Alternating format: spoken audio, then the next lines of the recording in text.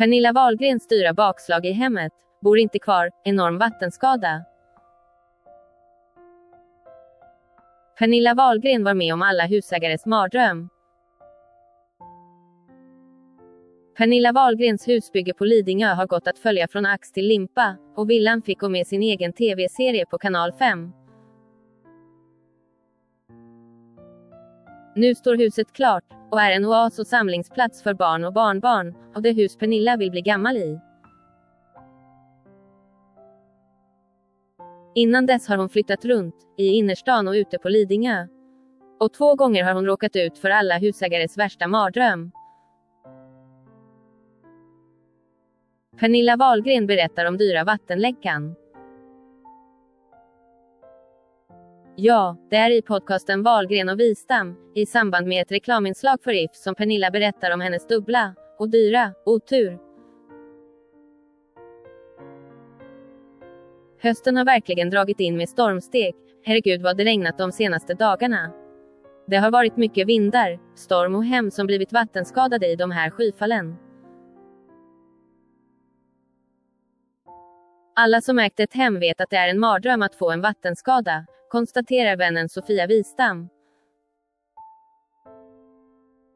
Och Pernilla vet precis vad Sofia pratar om. Hon har upplevt det två gånger. Jag hade sån otur i mitt förrförra hus. Vi hade otrolig otur två gånger. En gång var det jacuzzin som vi skulle tömma, och så rann inte vattnet ut, utan det började forsa ut på golvet, vilket gjorde att de tyngde ju ner på undervåningen. Så vi fick ju balansera upp det där. Det var en otroligt dyr sak, säger hon och fortsätter. Sen var det en annan vinter, när det var otroligt mycket snö, och när snön började smälta så började det droppa in i köket. Vi fick en enorm vattenskada. Och tack vare If så slapp vi betala det där själva, det gick på självrisken. Pernilla Wahlgrens problem med lyxvillan på Lidingö. Nu bor Pernilla inte kvar i de otursdrabbade husen, och förhoppningsvis är pampiga Villa Wahlgren skonat från liknande problem. Det husbygget drog igång 2021, och det var inte en spikrak väg till inflytt. Pernilla hade återkommande problem med att huset var byggt på ett berg, vilket resulterade både i ett extra dyrt bygge, och så stötte hon på patrull när det skulle byggas en trappa upp till huset.